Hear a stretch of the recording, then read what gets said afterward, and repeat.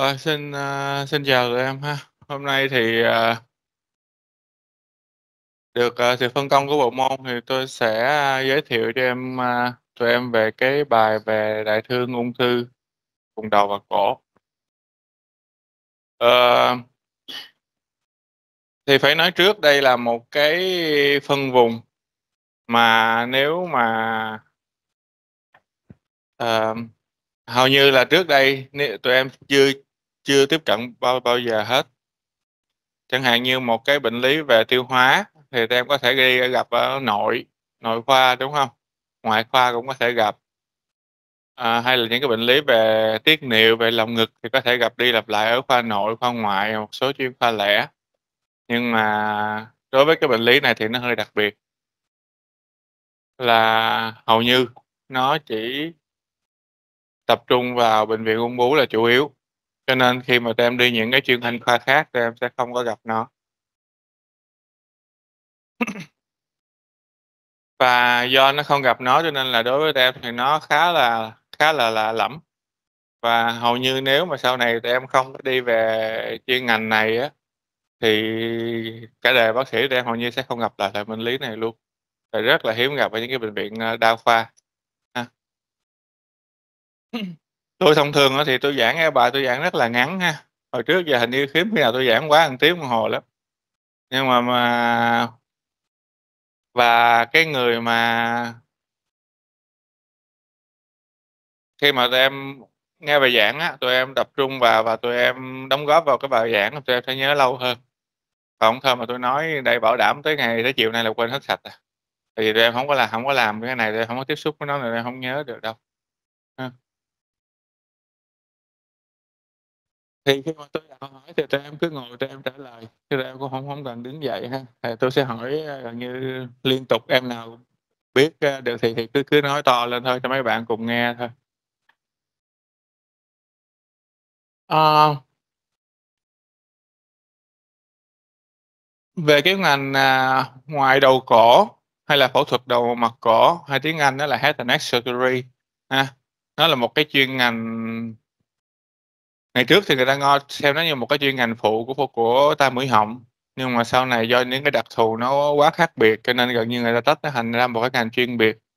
Đối với những cái đại học lớn ở thế giới thì hầu như nó đều có một cái bộ môn là bộ môn phẫu thuật đầu cổ hết. Ở Việt Nam thì hình như là chưa có, theo tôi biết là chưa có, ha. Nhưng mà nếu mà những cái nước như Nhật, Hàn Quốc, Mỹ, Pháp rồi thì đều có cái đều có cái bộ môn này hết. Thì nó là một cái chuyên ngành rất là lớn. Vậy thì bây giờ nói sơ qua, à, ai cho tôi biết là bây giờ em có thể kể ra một số loại ung thư đầu cổ có thể gặp không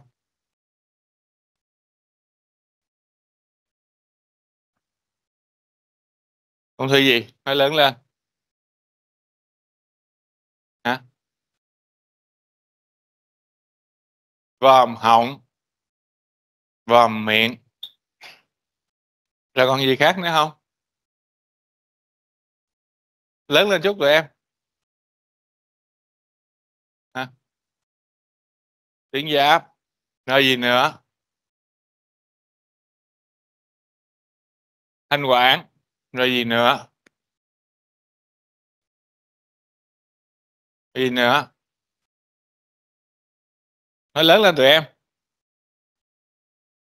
hả hầu hả?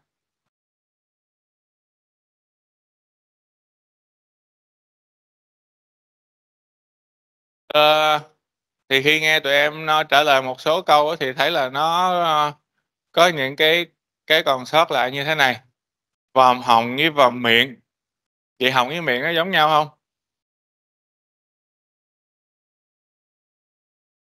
Vòm miệng là cái gì? Tụi em, a, học hồi trước học giải phẫu thì thầy thầy có chữ nào là vòm vòm miệng hông? Vậy vòm gì? Vòm họng, vòm hầu, nghĩa là vòm họng hay vòm hầu?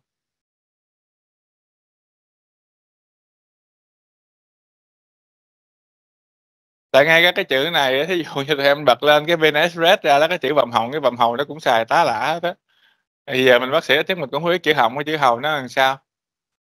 Nếu mà cái tiếng Anh mà cái chữ mà sử dụng mà thông thường là là throat, đúng không Còn cái chữ mà chuyên ngành của nó là oropharynx, ha. Tức là cái vùng thường hơi tôi hay dùng cái cái vùng hầu hơn, tại vì cái vùng họng nghe nó cũng hơi thì thường trong y khoa thì mình ít khi nào mà dùng chữ họng ha. Nhưng mà cái này ngay cả những cái bác sĩ hay là à, xin lỗi, những cái phóng viên mà người ta viết báo, người ta không có biết cái chữ này nên người ta sử dụng cái chữ này rất là lẫn lộn. Tại sao tôi nói vậy? Tại khi mà ngay cả khi họ viết những cái bài về chuyên đề về y khoa họ phỏng vấn tôi đàn xong họ họ viết ra nẻo à, và khi họ đăng họ cũng chẳng gửi cho mình đọc lại nữa. Mà khi mà khi mình nhắn tin mình kêu sửa xong thì họ cũng chẳng sửa nữa. Cho nên là mình mới thấy tiếp tục cái cần với báo nó rất là nguy hiểm, tại vì mình nói đằng cái họ viết nẻo à, họ không cho mình có cơ hội sửa lại ha. Thì, à, ung thư vùng đầu cổ à, nó là tập hợp những cái loại ung thư mà diễn tiến tự nhiên của nó tương đối giống nhau. Và do cái diễn tiến tự nhiên nó tương đối giống nhau, cho người ta phân nó ra thành một cái nhóm, đó là những cái lớp niêm mạc xuất phát, những cái ố bú ác xuất phát từ những cái lớp niêm mạc lót của đường hô hấp và đường tiêu hóa trên. Nói chung nó là như vậy ha. Còn câu trả lời mà tuyến giáp thì xin lỗi, câu trả lời này không chính xác. Tại vì ung thư tuyến giáp người ta xếp nó vào ung thư của tuyến nội tiết và cái diễn tiến của nó hoàn toàn khác ung thư đầu cổ khác, cho nên người ta nó không xếp nó vào là ung thư đầu cổ. Đó là cái sự khác biệt. Đương nhiên nó nằm trên cổ thì phẫu thuật viên head surgery ta vẫn mổ, nhưng mà như tôi tôi tôi vẫn mổ tuyến giáp rất là nhiều nhưng mà nó không xếp vào ung thư đầu cổ.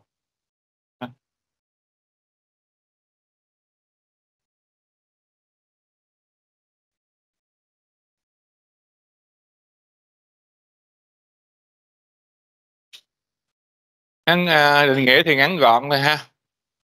Và lưu ý cái gạch đầu dòng thứ hai, ung thư não, ung thư tuyến giáp, melanom hay là những ung thư da khác của đầu cổ thì người ta không xếp vào ung thư đầu cổ. Tuy là nó nằm vẫn nằm trên đầu, trên cổ, nhưng mà ta không xếp nó vào ung thư đầu cổ, tại vì diễn tiến nó hoàn toàn khác nhau. Chẳng hạn như trở đi ngoài thần kinh chưa? À. Để nói ngắn gọn người ta cứ nói một phẫu thuật đầu cổ, phẫu thuật đầu cổ là cái phẫu thuật mà nó bao gồm vùng mặt, vùng hốc miệng, vùng ha tức là nguyên cái đầu, ngoại trừ cái não ra. Và cái vùng cổ, ha, đó, còn cái vùng não thì nó thuộc vào ngoại thần kinh, hai chuyên ngành nó hoàn toàn khác nhau. Và cái ung thư não thì diễn tiến tự nhiên nó cũng hoàn toàn khác. Ví dụ như tụi em có nghe tới trường hợp nào mà ung thư não di căn hạch chưa? Thật ra thì cái này người ta biết rất là sâu về tại sao nó không di căn hạch ha. Phân bố mạch bạch huyết của trong não nó không có là đủ đủ thứ chuyện ở đây không di căn hạch. Cho nên là cái diễn tiến nó hoàn toàn khác và người ta xếp nó vào chuyên ngành cũng khác luôn. Tuyến giáp thì tôi nói rồi, còn melanoma những cái trường hợp ung thư da thì nó là cái ung thư của cái bề mặt, cái lớp lót của bề mặt cơ thể thì nó hoàn toàn nó khác.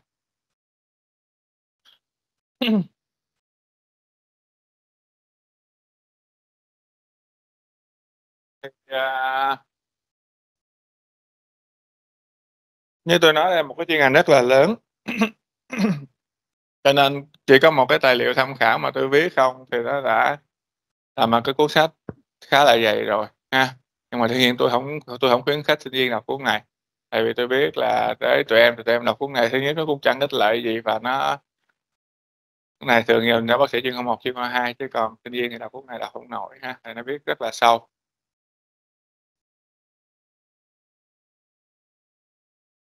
Đây là cái sơ đồ mà tôi nhận thấy là dễ quan dễ dễ quan sát nhất ha. Nó bao gồm cái vùng hốc miệng. Phía trước cái miệng ai cũng biết rồi, nhưng mà có một số cái mình không có để ý. Chẳng hạn như bây giờ amidan nó có thuộc hốc miệng không Nó thuộc cái gì? Thuộc cái gì? Khẩu hầu, ha. Tức là cái sơ đồ này nó rất là dễ tức là hốc miệng là cái phần phía trước, hầu là cái vùng phía sau. Cái vùng mà ngang với cái cái phần hầu mà nó ngang với cái miệng á là cái khẩu hầu, đúng không? Phía dưới của nó, dưới cái vùng khẩu hầu nó là cái phần phía dưới nó kêu là hạ hầu. Còn cái phần phía trên nó có hai cái tên, do nó nằm cái vùng hầu cao nhất, nếu như một cái máy phía trên này nó tiếp xúc với với não phía trên ha, cho nên người ta gọi nó là vòm hầu hay là cái chữ cũ cũ mà người ta gọi là chữ là không phải cũ nữa mà ngay cả đa số những cái tài liệu của ờ, nước ngoài bây giờ nó vẫn nhiều chữ nasopharynx, tức là mũi hầu hay là ngày trước thì dùng cái chữ hán việt là tỵ hầu ha, tức là cái vùng hầu ngang với cái lỗ mũi. Ha, đó là cái vùng cao nhất. Đây là cũng là một cái vùng ung thư mà đặc biệt nhất. Tại vì đối với những cái vùng ung thư khác, đa phần là nó liên quan tới rượu và thuốc lá hết thì cái vùng vòng hầu là cái vùng duy nhất ung thư, nó không liên quan tới rượu và thuốc lá. Đây là cái đặc điểm đặc biệt nhất, ha. Và thường cái tác nhân bây giờ người ta hay đề cập nhất đó là cái EBV thường xuất hiện nhất ở miền Nam Trung Quốc và vùng Đông Nam Á là cái vùng dịch tễ của bệnh. Những cái những cái vị trí những cái ung thư khác thì rất là hiếm gặp, nhưng mà ở những cái vùng khác thì rất là hiếm gặp, nhưng mà ở vùng, ở mình nè, người gốc Hoa nhiều nè, Nam Trung Quốc thì bệnh này gặp rất là nhiều. Phía trên cái hốc miệng là cái hốc mũi. Và cái hốc mũi thì nó có những cái xoang xung quanh nó. Xoang hàm, xoang trán, xoang sàn, ha. Thì đó là một cái phân vùng khác. Hốc miệng một phân vùng. Hốc mũi và những cái xoang cạnh mũi là một phân vùng. Vùng hầu là một, vùng hầu là một phân vùng. Vùng thanh quản là một phân vùng. Bốn phân vùng chưa? Và cái vùng cuối cùng là những cái tuyến nước bọt. Những tuyến nước bọt chính là mang tai dưới hàm dưới lưỡi và vô số tuyến nước bọt phụ nằm rải rác trên đường hô hấp và đường tiêu hóa cơ. à, thì ít nhất tụi em học xong phẫu thuật đột khổ thì tụi em phải biết được cái phân vùng này À, chứ đừng ví dụ nói đừng có nói amida mà thuộc khóc miệng thì kỳ lắm. Chẳng hạn như lưỡi thì em thấy đó cái hình đây. Phân nửa phía trước là nó thuộc hốc miệng phần ba phía sau là nó thuộc vùng họng. Đáy lưỡi thì nó thuộc họng. À, hai hai phân vùng nó hoàn toàn khác nhau và khi những cái phân vùng nó khác nhau thì cái cái cái cái diễn tiến bệnh nó cũng khác nhau. Chẳng hạn như ung thư vùng hà hầu, người ta nói đây là cái ung thư mà cái tiên lượng mà đen tối nhất của ung thư đầu cổ thì nó rất là xấu. Cái vùng này thì cái dẫn lưu mạch bạch huyết nó dày đặc, cho nên nó di căn rất là dữ dội nè và đặc điểm của ung thư hà hầu nữa, nói để em biết thôi chứ cũng không cần nhớ đâu, không nhớ nổi đâu. Tức là một cái búa nằm ở dưới niêm, cho nên là khi mà nó lan tỏa ra thì mình đánh giá rất là khó cho nên là uh, cái lan như một cái vết dầu mà nó nằm phía dưới một cái tấm trải phía trên là rất là khó đánh giá và bệnh nhân tiên lượng rất là đen tối rất là xấu.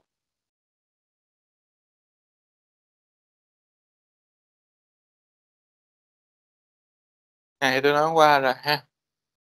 Thì nó ít nhất em phải phân phân vùng được. Tương tự như cái lưỡi thì cái vòng khổ cái nó cũng nửa này nửa nọ ha cái vòng khổ cái cứng thì là nó thuộc hốc miệng còn cái khẩu cái mềm phía sau thì nó lại thuộc à, khẩu hậu. Một số hình ảnh ha một cái sang thương vết ở lưỡi một cái sang thương sùi ha. đi uh, ung thư đi khi tụi em đi khi nào? Hình như chưa đi thực tập phải không ta? Hình như chưa thấy tụi em ở bệnh viện. À, thì khi mà đi thực tập những cái sang thương như vậy trong hốc miệng thì tụi em phải ráng tập mà sờ được. Tại vì chỉ có sờ bằng tay thì tụi em mới cảm nhận được cái vú ung thư nó như thế nào thôi. Nhìn bằng mắt không có thấy, không có thấy được đâu. Đối với khám hốc miệng người ta nói là cái tay nó sẽ nhìn thấy được nhiều hơn là con mắt. Ha. tuy nhiên đừng có hết nguyên đám súng vô sờ, người ta chửi là đáng chịu, nghe nói trước.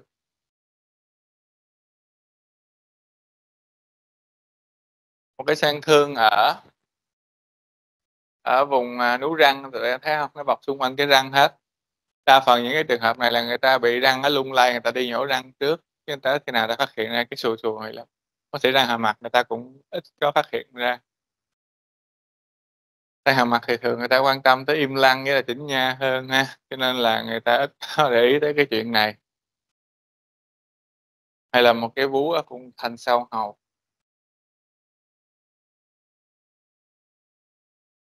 Một cái khối sùi ở thanh quản một cái ung thư ở hốc mũi.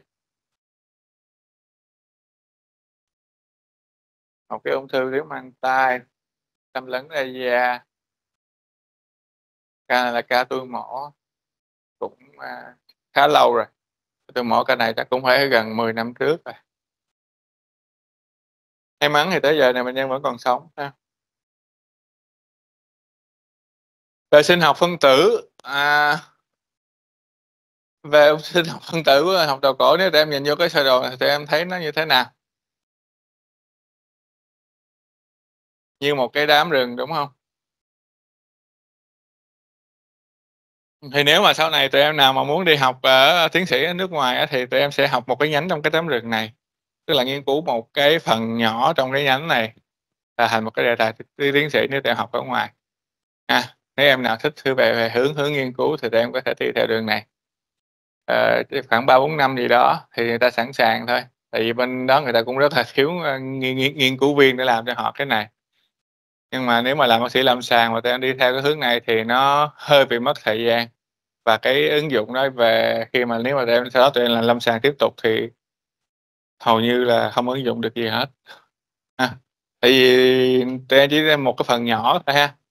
Cái ví dụ một cái công việc ở phòng lab là sáng, ờ, nói chuyện không phải là vui mà thực thực tế ha, thí dụ sáng vô chích thuốc cho mấy con chuột có thể tới chiều ghi nhận lại coi thử con nào chết con nào còn sống, giống giống vậy à, trong suốt trong suốt bốn năm trời thì nó cũng hơi buồn, à, nếu ai năng động thì thấy sẽ hơi buồn. Một số bác sĩ nội trú của tôi nó qua được năm xong nó bỏ chạy về ha, để chiều không nổi cảnh đó cũng quá buồn. Thì học tiến sĩ nước ngoài là vậy á tụi em.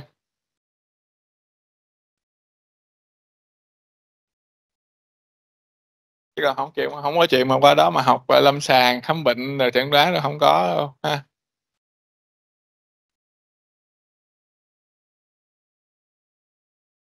Hình dạng của tế bào. Thì chúng ta biết cái trung tâm điều hành, à, điều hành cái, a, di truyền của tế bào nó nằm ở đâu?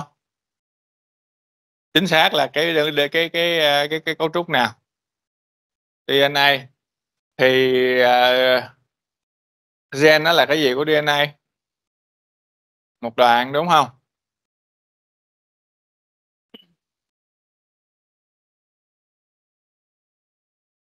Cái sơ đồ này em còn nhớ không Sơ đồ phía dưới á. Sơ đồ này Cái khúc đầu của gen là cái khúc gì? Nhớ ba cái gen thần thánh mà nằm với khúc đầu ba cái gen gì ở khúc đầu của cái đoạn gen? Điều hòa, gen gì? hai cái nữa.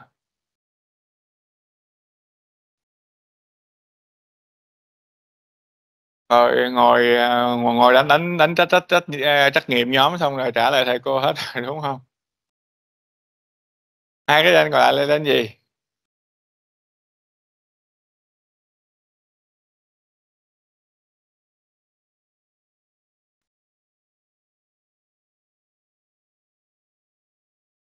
Cái này chỉ là nhắc lại kiến thức của, ờ, Y1 thôi ha.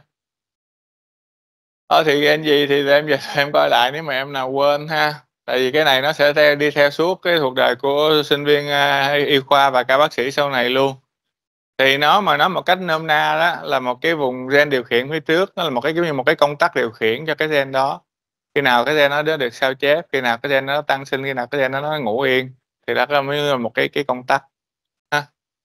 Thì cái ung thư của mình nếu mà nói tại tôi nói là do cái sơ đồ hồi nãy nó quá rối ha, tôi nói cái kiểu này cho tụi em dễ hiểu, còn có cái kia hồi tao quá nhập ma đó. Hồi xưa tôi mới tôi mới về tôi học ung thư tôi học đọc cái đó tôi cũng tôi quá nhập ma luôn. Thì ngày học nội trú ung thư cách đây 18 năm. à, Thì cái ung thư của mình, nguyên nhân của nó là do cái công tắc này nó bị hư, đơn giản vậy thôi. Thì tiền gen, cái tên mà người ta gọi là tiền gen sinh ung ha. À. Pro, à, oncogen ha, tức là một cái đây là một cái cây gen điều hòa sinh lý, một cái gen điều hòa bình thường của cơ thể, ha. Như tôi nói nó là một cái gen điều hòa như hồi nãy tụi em thấy trên cái sơ đồ đó, nó sẽ điều hòa cái chuyện cái tế bào đó khi nào phát triển, khi nào sao chép, khi nào ngủ yên.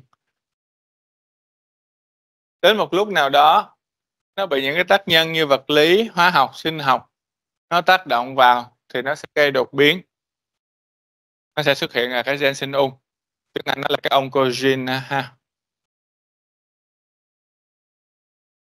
À. Một câu hỏi, a cơ bản đó. tôi nếu hông tôi không nhầm thì cái này nó vào khoảng năm lớp 11, 12 gì đó. Trên tổng cơ thể, trên cơ thể tế bào chúng ta khoảng bao nhiêu tế bào? Cái này giờ chắc hỏi mấy đứa học trường học quốc tế mà khoảng những lớp cấp 1 đó nó biết đó. mười muốn mấy? khoảng chừng. Bao nhiêu? mười muốn mấy? 10 mười 15 ha. Mới Google kìa, mới Google ra hả? 10 mười 15 trong đó thì có khoảng 10 mũ 12 các tế bào là nó thường nó thường tiên nó thay đổi ha. Tại tụi em biết có một số tế bào thì nó đã biệt hóa quá cao thì nó không thay đổi. Chẳng hạn như tế bào não, tế bào gan rồi đó ha. Nhưng mà có một có khoảng 10 mũ 12 nữa nó thường xuyên nó thay đổi. Thì tỷ lệ đột biến gen của mình là thường khoảng bao nhiêu?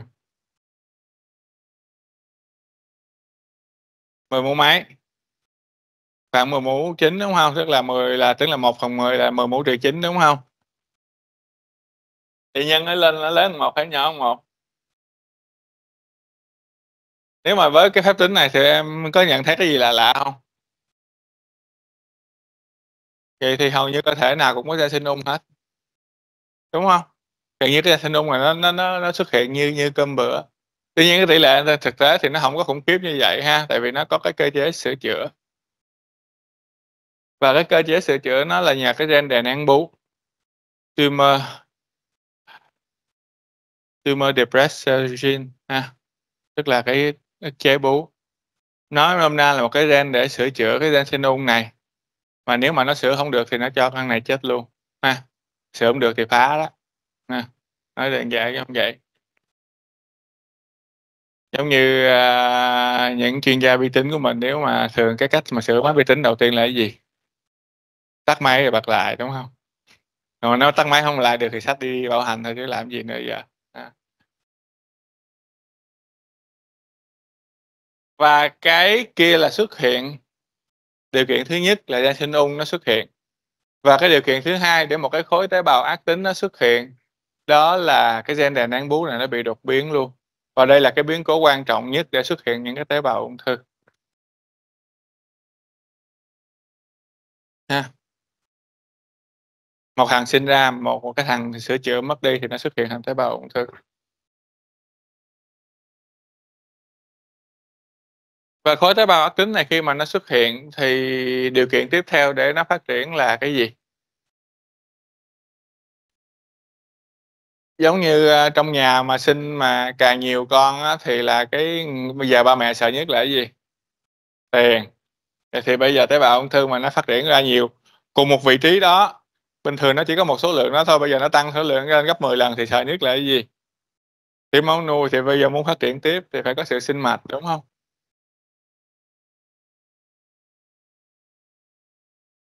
Vậy nếu mà nói, ờ, một cái thì nghe nó hơi kỳ ha, nhưng mà thật ra những cái tế bào ung thư là những cái tế bào non trẻ, nó không phát nó không trưởng thành ha. Cho nên tôi hay lấy ví dụ là một cái đàn con nheo nhóc nó sinh ra mà nó không có hiểu chuyện gì hết ha. Thì nếu mà nó không hiểu chuyện nó sẽ nó sẽ tàn phá cái cơ thể. Vậy thì nếu mà một ví dụ tôi đưa ra vậy đó, nếu mà một số người nói ung thư mà thực dưỡng à, gạo lứt muối mè gì đó, tức là nhịn ăn á, thì tế bào ung thư có ngưng phát triển không Lý do tại sao? Nếu mà trong nhà còn nhiều tiền hay ít tiền á, thì là cái cái phần ăn cuối cùng là dành cho con hay dành cho ba mẹ? Vậy thì hiểu rồi ha, bao nhiêu dinh dưỡng thì tế bào ung thư nó sẽ ưu tiên nó lấy trước. Cho nên có nhịn ăn cách mấy thì cơ thể nó sẽ chết trước khi những tế bào này nó chết.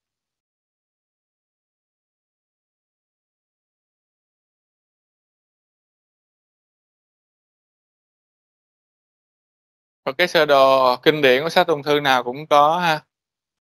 Xuất hiện, tăng sản, xâm lấn qua cái màng đáy của cơ thể.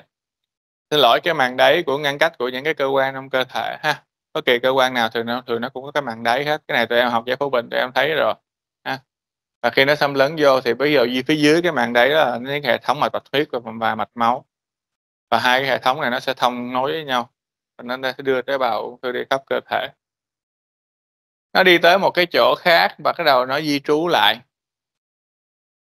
Ha. Cũng giống như người Việt Nam thì bây giờ khi mà gia đình mà có tiền nhiều thì bắt đầu muốn tạo một cái cuộc sống tốt đẹp hơn thì là sẽ qua những cái nơi mà nước phát triển để họ sinh sống, ha.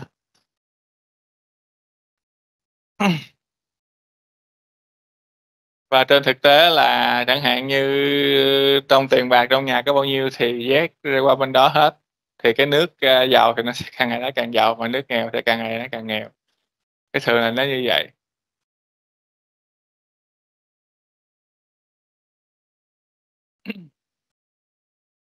um,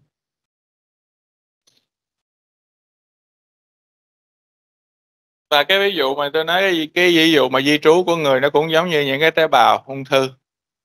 À, tại sao những cái khối ung thư thường nó thường nó di căn tới những cái cơ quan như thường nó những ung thư nó di căn tới phổi, đúng không? Tới xương, tới não. Nhưng mà tại sao nó không di căn xuống một cái ngón chân cái chẳng hạn? Bây giờ em đặt ra cái câu hỏi đó chưa? Tại vì tế bào ung thư nó chạy trong máu mà. Thì sao nó không tới vị trí bất kỳ, mà nó lại tới một số cơ quan giống như vậy?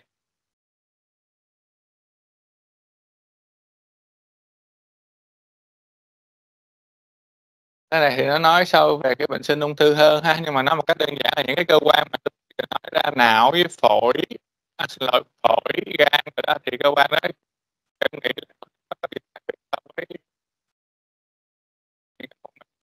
những cấu trúc đó thì nó khác biệt gì thấy rõ nhất.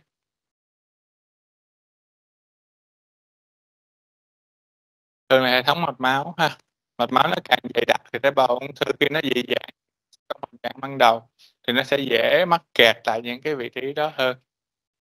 Và yếu tố thứ hai là cái yếu tố người ta gọi là vi môi trường ha, micro environment Tại cái cơ quan đó, nhiệt độ, ánh sáng, nồng độ oxy, đủ thứ chuyện ấy giống như một cái môi trường đất vậy đó. Nó phù hợp với cái hạt giống nó nảy mầm.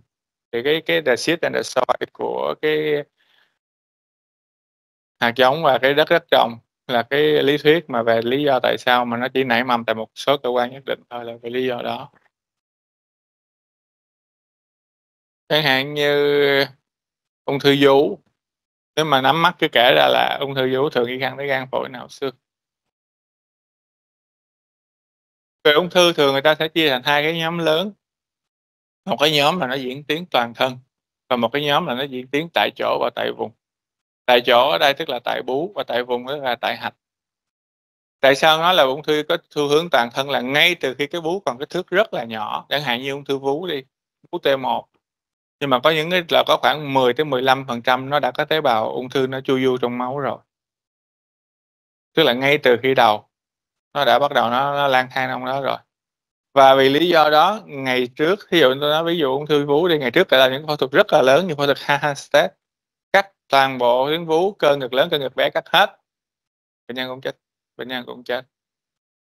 Sau này người ta mới nói là là liên hút sâu là tại vì ngay từ giai đoạn sớm nó đã tế bào ung thư nó di trong nó lang thang trong đó rồi và nó gây bệnh nhân chết vì những tế bào đó. Do đó, như chúng ta biết rồi, phẫu thuật nó có từ thời trước là Hippocrates luôn rồi. Thấy cục gì cắt cục đó. Xạ trị thì bắt đầu từ khi nào? Nào khoa học nào lừng lẫy?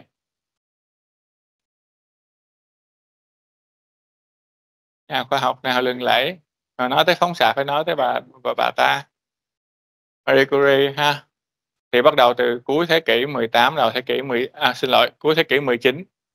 Bắt đầu mới xuất hiện cái xạ trị. Bà Marie Curie là cũng mất vì nhiễm phóng xạ ha, thời đó thì không an toàn phóng xạ đâu nên bà cũng mất vì cái về vì cái phóng xạ. Nhiễm độc phóng xạ lâu lâu ngày. Và cái hóa trị là cái nó theo từng tầm ha. Phẫu thuật với xạ trị nó chỉ có khu trú tại tại tại tại chỗ và tại vùng thôi, tức là tại bú và tại hạch thôi. Nó không có thể nào nó tác động ra đường toàn thân được. Mà muốn diệt những cái tế bào mà nó lang thang trong máu là phải có thuốc toàn thân, đúng không Thì đó là cái hóa trị. Và cái hóa trị là cái sinh sao đẻ muộn nhất sau Thế chiến thứ hai bắt đầu nó mới xuất hiện. À, đó là những cái tế bào rồi những cái tác nhân gây độc tế bào. Và sau này thì nó phát triển ra rất là nhiều loại thuốc nữa. Cái kia là thuốc sinh học đó. Thật ra nó là một cái nhóm thuốc rất là lớn ha. Nó bao gồm cả thuốc chấm trúng đích rồi thuốc miễn dịch, nói chung là một cái thuốc rất là nhiều và nếu mà nói về chi phí điều trị thì cái thuốc về điều trị ung thư là cái thuốc đắt tiền nhất trên tất cả những cái điều trị một cái phát đồ, một cái thuốc sơ sơ thôi, một cái Keytruda tức là pembrolizumab, ức chế PD-L1 thì một lần vô là khoảng 97 hay 105 triệu vậy đó một lần vô, hai ba hai tuần vô một lần. Con số khủng khiếp. À. Nếu mà tính với mặt bằng chung của người Việt của mình thì con giá là một con số khủng khiếp. à, Rồi mà còn nhiều thứ khác nó mắc hơn nữa ha. À.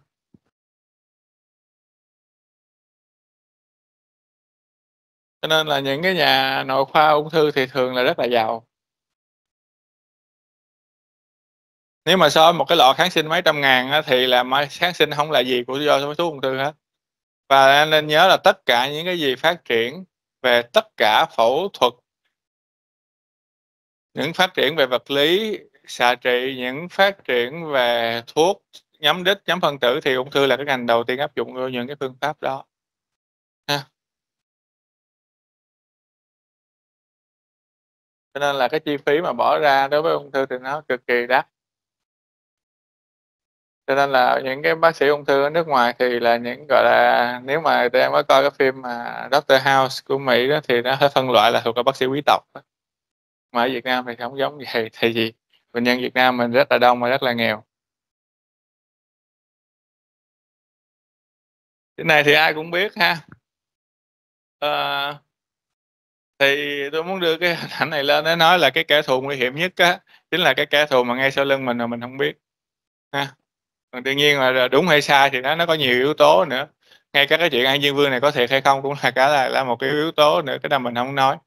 Nhưng mà tại sao cái tế bào ung thư này nó nguy hiểm?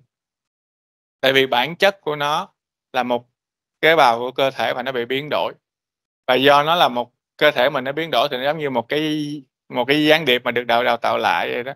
Tức là lấy chính cái người cơ sở đó để đào tạo thành một cái gián điệp cho cho địch đó, cho nên nó rất là nguy hiểm và nó sẽ gây cho cơ thể không có những cái phòng bị và chống trả kịp thời.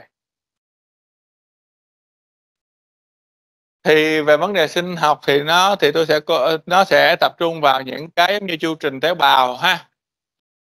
Chúng ta biết cái chu kỳ tế bào thì nó pha pha tổng hợp, pha phân bào, pha nghiệp.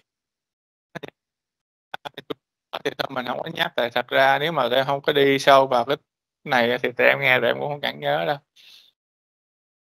Nhưng mà đại khái là khi mà nó bị đột biến thì là cái cái tế bào đó thay vì nó sẽ vào những cái giai đoạn nghỉ thì nó lại phát triển nó nó nó tăng sinh liên tục, nó phân bào liên tục và sẽ gây ra một cái lượng sinh ra những cái tế bào vô số. Mà nó sinh nhanh quá thì là cái bộ gen di truyền nó sẽ không ổn định mà nó sẽ thành bệnh tật. Chẳng hạn như cái gen TP53, cái gen, uh, ờ, ra cái ờ, uh, gen là B53. B5, B16 cái gen này nó đè nén bố kinh điển người ta tìm ra đầu tiên ha. Hai cái gen này nó bị mất chức năng thì cái cái cái tế bào của vùng đó nó sẽ mất cái điều cái điều khiển và tế bào vú nó sẽ phát triển.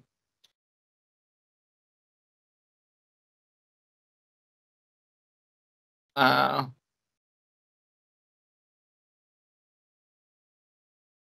B16 cũng vậy, gen đèn nén bú. Trong một cái ung thư mà nếu mà cái gen đèn nén bú nó bị mất chức năng thì thường cái tiên lượng nó sẽ rất là xấu, nó ít đáp ứng với những cái điều trị. Trong những loại ung thư mà bên đề nén bú đó nó còn thì tiên lượng nó sẽ tốt hơn. Ví dụ như những cái ung thư khẩu hầu mà do HPV gây ra. Thì những cái ung thư khẩu hầu mà do HPV gây ra thì thường người ta sẽ thử cái B16 đó.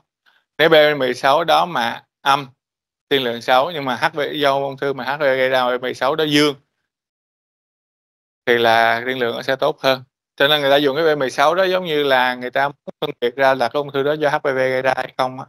Thì ung thư do HPV gây ra thì thường nó gặp ở người trẻ ha. À, nó gặp ở người trẻ và B16 nó còn cho nên tiên lượng nó sẽ tốt hơn. là những trường hợp mà không do HPV gây ra và B16 nó mất thì tiên lượng nó sẽ đen tối hơn nhiều. Liên quan tới chu kỳ tế bào, phân bào ha và biệt hóa và chết tế bào cho lập trình. Biệt hóa thì chúng ta biết rồi ung thư là những cái tế bào nó không không có biệt hóa được cái tế bào trưởng thành. Và chết tế bào lập trình thì những cái tế bào cơ thể thì nó sống tới một lúc nào đó nó sẽ chết. Còn những cái tế bào ung thư thì gần như nó bất tử.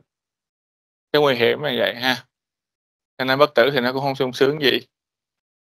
Mà vua chúa thì có tiền thì khi nào cũng mong muốn bất tử, nhưng bất tử thì không có sung sướng gì ha. Không có nói nhiều cái này thì tụi em cũng không nhớ đâu.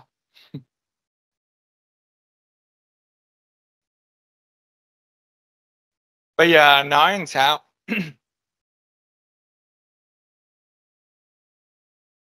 Cái hình ảnh, à, trên báo New England Journal ha, cái tạp chí, ờ, thánh kinh của, ờ, y khoa ha. Tuy nhiên lâu lâu nó cũng ra in một số bài tầm bậy tầm bạ thì cũng có chứ không phải không có. à, thì những cái thụ thể ở màng của nó EGFA ha. Epidermal Growth Factor Receptor, tức là những cái thụ thể. Khi mà nó những cái cái protein nó gắn lên cái thụ thể đó, tức là nó bật cái công tắc ngay cái màng tế bào.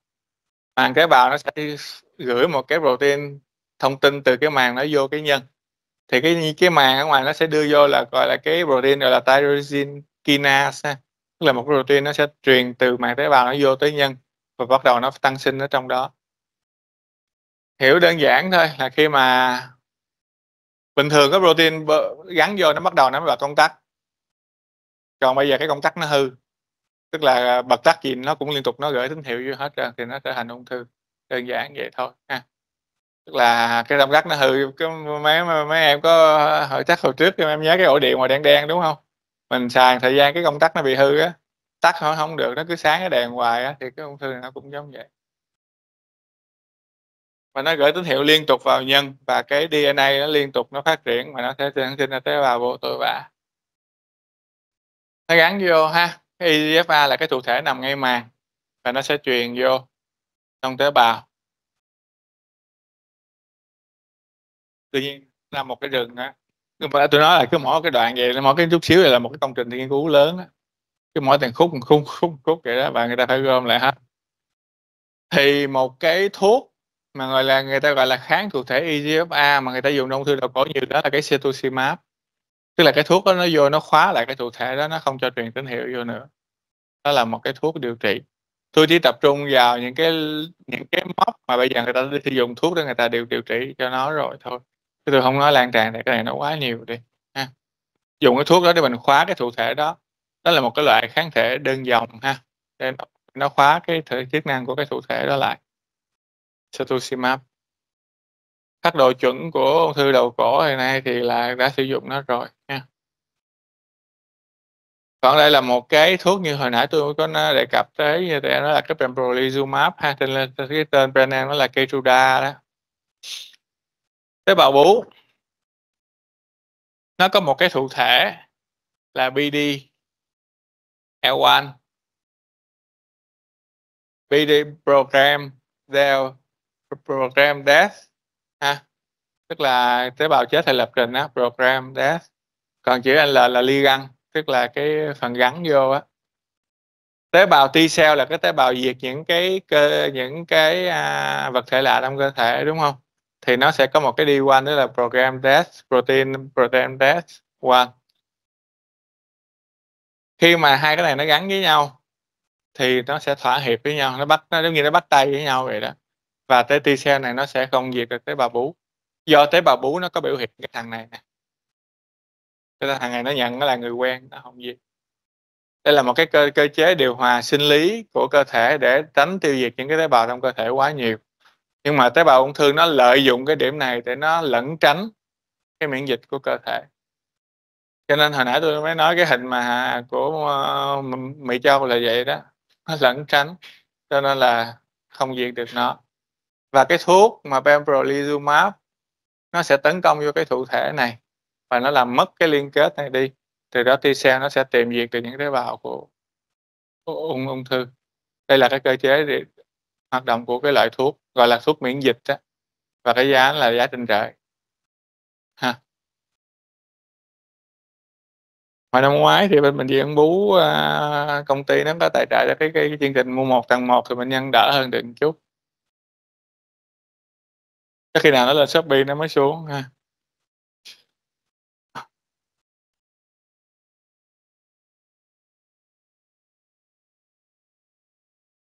À, vậy thì bây giờ một cái câu hỏi đặt ra đó, thì em thấy nếu mà những cái phương pháp điều trị ung thư của mình mà nó tới mức độ phân tử như vậy và là nó giống như hình ảnh quảng cáo giống vậy á. Thì tại sao người ta vẫn chết gì ung thư làm cái hoàn hảo có màng cái thì khóa cái cái cái, thực cái thụ thể của màng tế bào. Một cái thì bộc lộ nó ra trước uh, trước cảnh sát hay cảnh sát tới tiêu diệt nó là nhưng mà tại sao bệnh nhân ung thư bệnh nhân nó vẫn tiến triển và bệnh nhân vẫn chết? Cái này nó chỉ làm chậm lại thôi là vì lý do tại sao.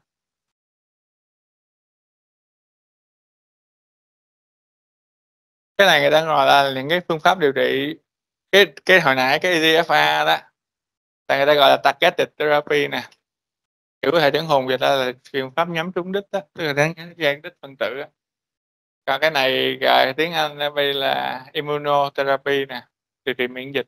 Tức là bộc lộ tế bào ra để thành một cái cơ quan để cho tế bào, để thuốc miễn dịch nó tấn công vào. Thì tại sao nó hoàn hảo tới mức độ như nhà quảng cáo, người ta quảng cáo rồi mà bệnh nhân ta vẫn chết?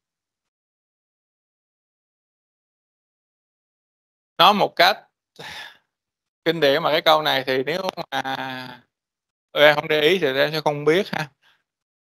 Một cái tế bào nó đã bị đột biến rồi thì cái bộ di máy di truyền nó còn ổn định hay không?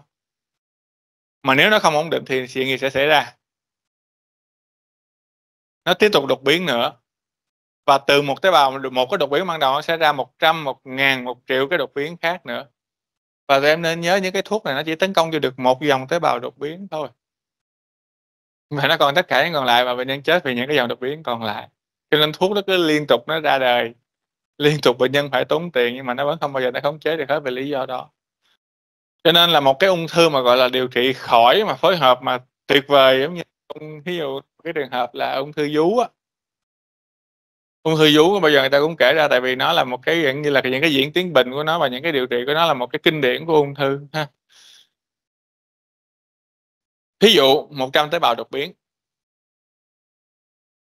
Phẫu thuật nó lấy đi hết cái cái cái cái, cái khối bú. Xạ trị nếu mà trường hợp mà nó di căn hạch nhiều, đột biến gen nó xấu, xạ trị vô thì nó sẽ tiêu diệt những tế bào còn sót lại. Hóa chất vô nó sẽ tiêu diệt những cái tế bào chu du trong máu. Ba cái phương pháp điều trị kinh điển đó nó sẽ dẹp đi 99 cái dòng đột biến và còn một cái dòng đột biến cuối cùng mà ba thằng kia nó chưa làm được thì thuốc này nó làm gì? Bệnh nhân hết bệnh. Cái đó là lý tưởng thực tế không có cái nào lý tưởng như vậy đâu. Nhưng mà trên thực tế người ta mong muốn là nó là như vậy. Cho nên tại sao ung thư người ta phải phối hợp một đống thứ vô, bệnh nhân tốn một núi tiền là vì lý do đó. Ha. Nói ờ, phân biệt tôi nói chẳng núi tiền, tại vì khi mà tụi em đi hội nghị, tất cả những cái hội nghị quốc tế trên thế giới này toàn bộ là công ty dược tài trợ hết quốc tế Việt Nam hay là cái gì cũng công ty dược hết cho nên thường đi dược hội nghị toàn là bác bác sĩ, nội nội ung thư đi dược không à cái bác sĩ ngoại khoa như tôi thì hầu như không bao giờ không ai mời à. để thấy vậy một cái kháng sinh mà mấy trăm ngàn tới cách một triệu, so với một cái to thuốc mấy trăm triệu thì nó khác biệt như thế nào à. nói vậy thì tụi em hiểu rồi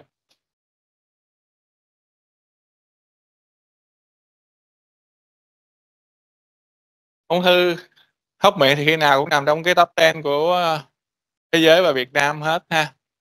Thì thường gặp sau 40 tuổi. Thì cái thời gian mà để nó tác dụng của rượu thuốc lá thì nó cũng phải có thời gian ha. Thì thường nó tác dụng từ năm 20 đến năm 40 là vừa đó. Và do rượu với thuốc lá thì nam thì nhiều hơn nữ. Nhưng mà gia tăng ở nữ giới thì cũng hiểu tại sao rồi ha. Nữ bắt đầu cũng hút nhiều người thì chỉ hút để giảm cân thôi, nhưng mà cũng có hút. Thì cái gì nó cũng có cái giá của nó, nên thực tế là như vậy. Ha. ung thư bầm hầu. Ha, chúng ta gần Trung Quốc và cái dịch tễ chúng ta cũng giống giống vậy. Ung thư hốc miệng thì rượu thuốc lá là chủ yếu. Ung thư hốc miệng có liên quan đến HPV không? Có không?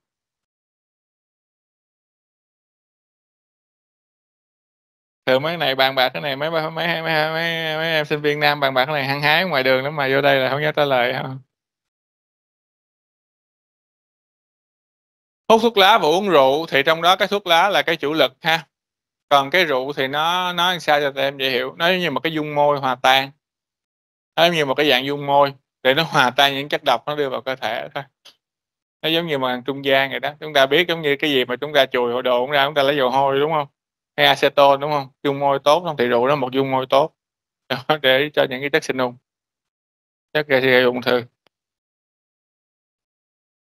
à, nổi trội lên là cái HPV thì cái HPV thì nói lâu là HPV hiện nay chưa có bằng chứng gây ra ung thư hốc miệng. Lý do?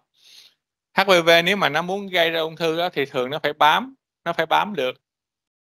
Và nó bám được là nó bám được ở chỗ nào? Là những vùng nào có hang hốc thì nó bám mới bám được thì hang hốc trong trong mấy cơ quan nãy giờ mới kể thì chỗ nào hang hốc nhiều nhất? Khẩu hầu ha amidan thì em thấy không? Hạ hồng ra cái là thấy là hang nó lồi lõm lồi lõm mấy cái mô lympho hết trơn rồi. Hoặc là cái cái đáy lưỡi cũng vậy, lồi lõm lồi lõm thì có những cái chỗ nó bám vào được thì nó mới gây ra ung thư được. Nguyên tắc là vậy, cho nên ung thư HPV hiện nay chủ yếu là liên quan tới ung thư khẩu hầu và may mắn là những cái ung thư bệnh HPV gây ra thì thường tiên lượng nó rất là tốt ha. Thường là về kinh điển là bệnh nhân xuất hiện ở lứa tuổi trẻ rồi không liên quan tới rượu, thuốc lá rồi thì thường HPV gây ra.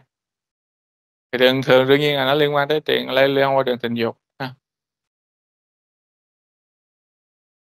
nhưng mà nhiều khi mấy ông sáu mấy bài 70 thử ra HPV vẫn vẫn liên quan đến HPV ha. Cái đó thì thôi, tự hiểu. Những yếu tố như bức xạ mặt trời thì nó liên quan tới cái vùng da và những cái vùng tiếp cận, tiếp tiếp cận với da. Giống như vùng môi nè, người ta hay phân biệt là cái phần phía trên là môi môi à, môi trắng, còn cái phần mà môi đỏ thì kia là môi đỏ rồi đó. Thì những cái vùng nào tiếp xúc với bức xạ mặt trời thì nó có thể gây ra. Những cái vùng bụi gỗ thì nó liên quan đến những cái hốc mũi rồi đó, nhưng mà cái đó thì già cũng ít ung thư thanh quản thì nói chung là nó cũng do những cái uh, này thôi khỏi nhắc nhiều ha. Mấy cái này yếu tố kinh điển thôi. Ung thư bầm hầu thì cái này nó liên quan tới cái EBV và người ta nói có thể nó liên quan tới cái những cái thức ăn mà có liên quan tới muối một cái nitrosamin mà dạng bay hơi. Và khi bay hơi thì nó sẽ tụ lên cái vùng mà cao nhất tức là cái vùng vòng hầu của nó. Và những cái thức ăn loại này thì là ờ, mình ở Trung Quốc là ăn nhiều nhất. Đúng không? Này, mới vừa Tết xong là biết rồi, ha. Tết ăn cái gì thì biết rồi. Đương nhiên cái thế hệ mới sau này thì ít ăn hơn, thì không biết để coi có giảm bệnh hơn so với hồi trước hay không. Liên quan tới cái nền văn hóa thôi ha, đồ ăn thiếu thốn thì cứ sợ, cứ phải cái gì cũng dưa muối dưa muối.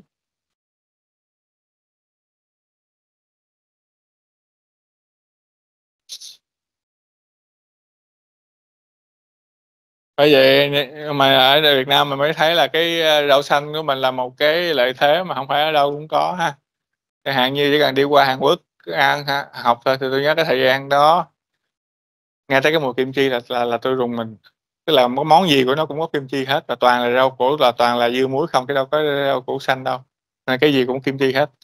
Vô bệnh viện ăn một ngày là ngày nào hai bữa là cũng đầy đủ là cũng có kim chi không? Thịt thì ít mà kim chi thì nhiều. Còn mà mấy cái uh, nướng như gogi á, thì lâu lâu mà giáo sư mà đãi mới có đi ăn nha. Chứ bình thường không có không có tiền đâu mà đi ăn nó rất là mắc. Heo với bò bên Hàn Quốc có toàn là nhập không mà nó giá rất là mắc nó không có giống như Việt Nam đâu. Cho nên là chỉ khi nào mấy giáo sư bác sĩ đông khoa nó hùng tiền là nó đãi ăn thì cái có thôi chứ còn bình thường là ăn cơm với kim chi không mà thịt mà đếm nó cũng hơi khó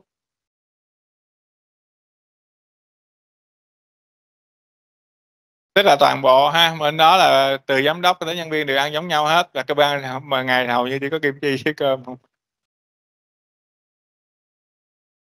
Về bệnh học, nó xuất phát từ lớp niêm mạc lót, cho nên giải phẫu bệnh nó hay gặp nhất là carcinoma tế bào gai. Và cái loại bú này nó xâm lấn mà nó lan dầu ha, nó thấm theo chiều sâu ra xung quanh và nó qua từng lớp từng lớp từng lớp. Cái đặc điểm của vùng đầu cổ nó có một cái đặc điểm giống vậy nè cái trong đó là niêm mạc, đúng không? Cái giữa nó là xương, đúng không? Phía ngoài nó là da. Tức là nó gần như nó là ba cái lớp bọc, cái xương nó nằm giữa, còn niêm mạc nó bọc ở trong, cái da nó bọc ở ngoài. Và khi ung thư nó sẽ thấm, nó sẽ thấm theo cái đường đó, nó thấm nó thấm ra. Cái ung thư mà xấu nhất là nó xâm lấn ra ra tới da, nó xâm lấn hết cái xương, nó xâm lấn ra tới da. Đó là những cái ung thư mà tiên lượng xấu thường hay gặp ha. Và khi trên đường nó xâm lấn á thì nó cũng giống như đi mà đi vô theo đường dây điện là đường, à, giao thông thôi ha, nó sẽ xâm lấn vô cái những cái thần kinh mạch máu. Và khi nó xâm lấn vô cái này như cái tôi lý giải ngay từ ban đầu, nó sẽ cho di căn hạch rất là dữ dội và tiên lượng nó sẽ xấu hơn nhiều. à.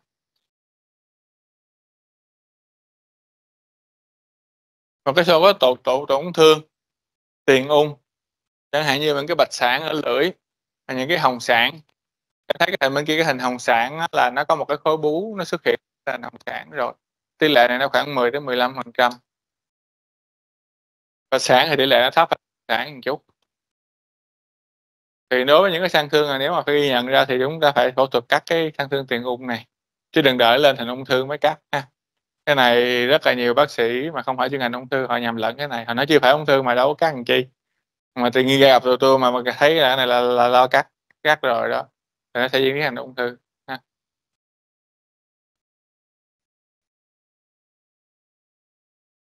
Hồi năm ngoái có một cái ca, gọi là, bệnh nhân đi lòng vòng ha, ở Việt Nam cũng đi vô những cái bệnh viện rất là lớn ở Sài Gòn.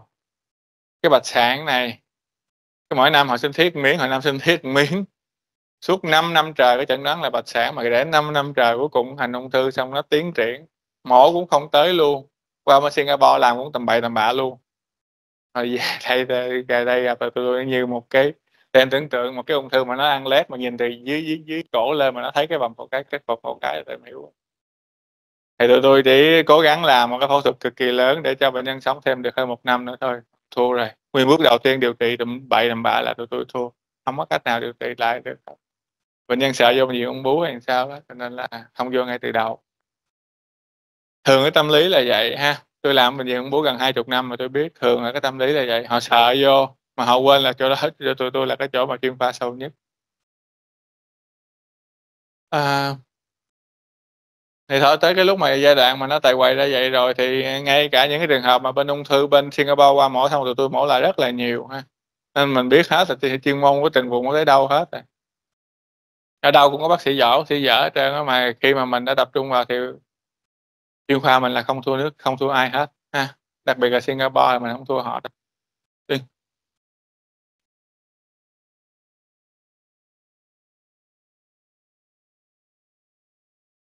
Mình có những cái lợi thế nhất định khi mà tiến hành điều trị cái này. Tại vì số lượng bệnh nhân mình quá đông, cho nên cái kinh nghiệm và cái thực cái thực tế mình cũng còn bây giờ kiến thức tất cả là thế giới phẳng, kiến thức như nhau hết ha. Quan trọng người nào chịu đầu tư vào nghiên cứu hơn và làm được nhiều cái hơn thôi, chứ hầu như bây giờ nó không có sự khác biệt đâu. Tụi em đi học đi thử rồi tụi em sẽ thấy. Chẳng hạn như khi mà tôi qua Hàn Quốc tôi học á, tôi cũng tưởng tượng là họ mổ giỏi hơn tôi nhiều lắm, nhưng mà khi mà mổ rồi thì tôi mới biết. Chẳng hạn như một ca tiếng giáp tôi mổ đi, thường tôi chỉ tốn khoảng hai miếng gạt để tôi chậm máu thôi, hai miếng, bên đó tốn 40 miếng. Và họ tốn khoảng 3 tiếng, trong khi tôi mổ một ca chỉ khoảng nửa tiếng thôi. À, ví dụ giống như vậy. Tuy nhiên họ có những cái họ lợi thế như họ là họ mua robot. Tất nhiên bên mình mà mua robot một con bây giờ đấu thầu không không ra được tại ông nào cũng sợ ở tù hết, không dám ký đấu thầu hết. Nhưng mà bên đó một cái bệnh viện nó tám con robot. Cho nên là nếu mình có điều kiện như họ nhưng mà thật ra thì nó cũng hơi khó. Thì mình bây giờ về đây một ca mổ robot mà bệnh nhân phải tốn khoảng 150.000.000. Bên bên Hàn Quốc thì nó tốn khoảng 200 triệu nhưng bảo hiểm nó trả 80%. Bên mình thì bảo hiểm chưa trả. Thì bố như chơi game em mổ dễ ẹc à, không có gì khó. Giống như mấy mấy đứa em chơi game vậy đó, càng nhỏ chơi chơi càng giỏi vậy đúng không mấy đứa em sinh viên giờ gặp mấy đứa mà 12, 13 tuổi chơi game chưa chắc chơi lại nó. Thì robot nó vậy, đúng là nhìn rất là sướng tại nó là nhìn theo, kiểu, hình là ba chiều, nên khi mà mổ nó cảm nhận được cái độ sâu về mổ nội soi rất là tốt. Ha. Mà vô cái phòng mổ Hàn Quốc khi nó thiệt toàn màn hình của Samsung không nó để giáp vòng bốn góc với cái màn hình lớn nên nhìn rất là đã. Lợi thế về công nghệ và tiền bạc. Còn mình thì nó có rất là nhiều cái, chẳng hạn như một con robot nếu mà mua ở bệnh viện bây giờ, nếu mà vô tới bệnh viện là khoảng 90 tỷ Nhưng mà cái giá mà công ty người ta bán ra là 30 tỷ Thì em thấy nó trên là tới cỡ nào? không biết nó vô Việt Nam nó đóng theo cái giống gì tôi cũng chẳng hiểu. Thì ung thư đầu cổ nó khác với ung thư vú. Nó diễn tiến tại chỗ và tại vùng, tức là tại bú và tại hạch thôi. và bệnh nhân nó bệnh nhân tử vong cũng tại bú và tại hạch. Thí dụ chết do cái gì? Cái bú nó lớn lên nó hoại tử nó chảy máu. Và bệnh nhân chảy máu tới chết. Hoặc là nhiễm trùng. Cái khối bú nó lớn lên mà nó nhiễm trùng mà hai chảy máu và nhiễm trùng hai nguyên nhân chết sang đầu của ung thư một đầu cổ. Giờ nó nằm ngay giữa cái thẳng thương nó nằm hơi lệch bên phải một chút.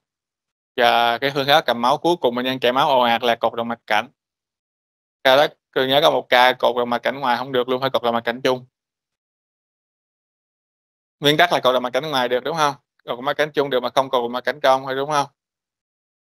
Nhớ nguyên tắc đó không? Nhiều khi hồi đó thì Diệu nói xong bây giờ chắc không nhớ. À, cột xong bên giờ nếu mà nó vẫn còn chảy thì sao? Cột bên còn lại được không?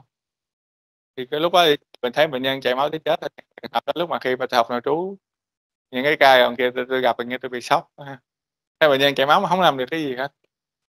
Cột hết bên này giờ còn bên còn lại sao giờ tăng lại cột luôn? Cho nên à, tới lúc đó mới thấy cái cái khả năng của người bác sĩ mình rất là ít so với những cái gì mà bệnh bệnh tật nó mang lại. Rất là ít quá lâu quá thấy mình bất lực ờ, như tôi nói nó xâm lấn theo kiểu vết dầu loang ha. Và di căn thì nó di căn rất hạch rất là nhiều. Và chúng ta biết vùng đầu cổ này thì mạch bạch huyết và mạch máu nó dày đặc. Này mà ai cũng có máu mặt rồi cũng biết mà đúng không? Đụng vô cái mặt uh, buồn buồn tay mà nặng mụn cái thôi nó cũng xịt máu được nữa chứ đừng nói những chuyện khác. Nhưng mà di căn xa thì ít gặp. So với những loại ung thư khác thì nay ung thư xa ít gặp hơn nhiều mà bệnh nhân cũng không chết vì ung thư di căn xa ha? Chết vì cái tại chỗ và tại vùng? Di căn hạch rất là nhiều, sáu nhóm hạch vùng cổ thì cái này kinh điển rồi ha. Là sinh viên thường mà đi thực tập thì tụi em nhớ coi lại cách khám hạch cho kỹ nha. Đa phần nó tới không có đứa nào biết cách khám hạch hết tôi dạy tụi em hai chục năm rồi tôi biết.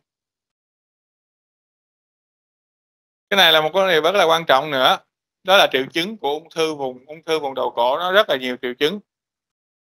Chẳng hạn, chảy máu răng, một cái vết đốm ở lưỡi, ngạt mũi. Đừng có ghi vô chỉ mất công ngạt mũi, chảy máu mũi, hàng tiếng. Thì em nghe những cái triệu chứng đó thì em có cảm giác như thế nào? Nó không có đặc hiệu tức là bệnh nào nó cũng gây ra cái triệu chứng đó hết. Tôi nhớ khi mà tôi dạy trong cái bài bài khám hạch xong hồi trước tôi có mấy lần mà tôi khi dạy mà khám hạch xong là bốn năm đứa lên thầy em có cục hạch thầy khám giùm em. Bắt đầu nó sợ.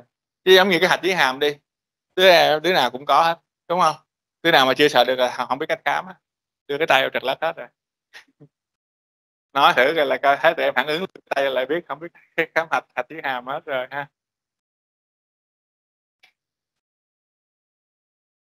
Đứa nào cũng có hết á đứa nào mà khám chưa ra là tại chưa chưa khám được. Về tự khám đè mình ra khám mà khám với người xung quanh đứa nào mà sờ được hạch dưới hà là mới biết cách khám hạch dưới hà.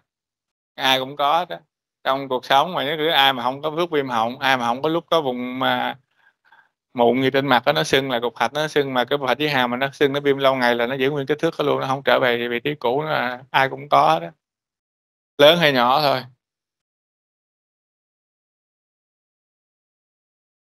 Và những cái đặc điểm đó do nó không đặc hiệu cho nên là nó khó để cho tụi em phân biệt ra được. Tất cả những trường hợp ung thư hốc miệng mà giai đoạn miệng thì dễ quá mà đúng không? Em hạ miệng ra thì em thấy rồi đúng không? Mà đối với ở, ở ung thư ở môn bú 60 tới 70 phần trăm là đi khám vào giai đoạn trễ. Lý do nói thẳng ra là bác sĩ tuyến đầu chẩn đoán trật lắc bác sĩ đa khoa chẩn đoán trật lắc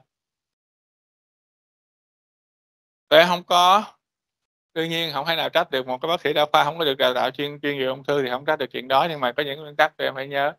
Và một cái nguyên tắc mà dễ nhớ nhất á, là cái dấu hiệu đó 4 tuần rồi nó không có thay đổi. Thậm chí nó nặng hơn hoặc là nó không lành thì thôi. Cho nên mình không thấy chắc á, thì thôi đẩy đi dùm đừng có ráng ôm. Và đừng có cho thuốc tầm bậy tầm bạ. Chẳng hạn như cái hạch cổ ác tính đi.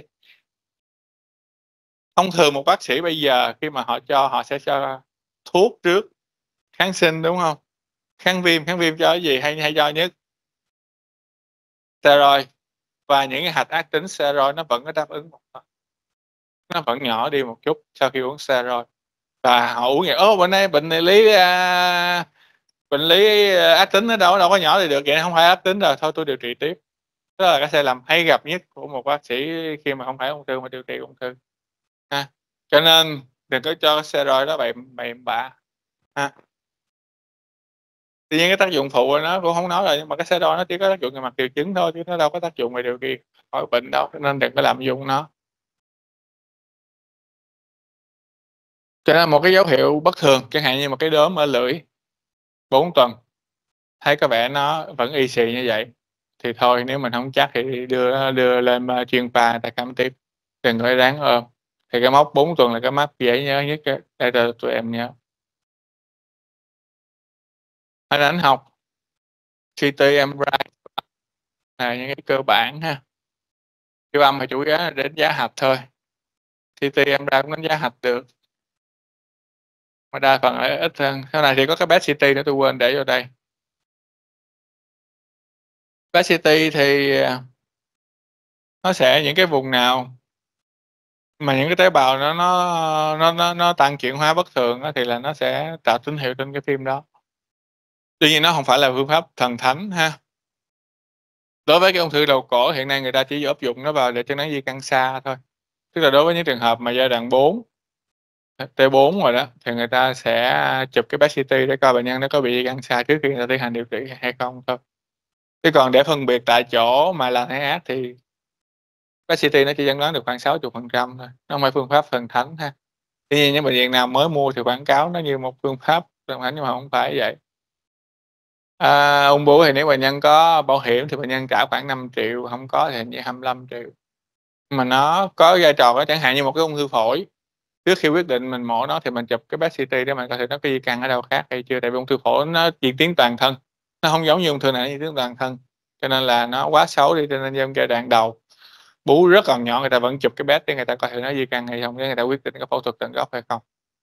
Chẳng hạn như vậy, hay là một cái ung thư thực quản. Ta biết rồi, ung thư đường tiêu hóa thì đi từ dưới lên dần.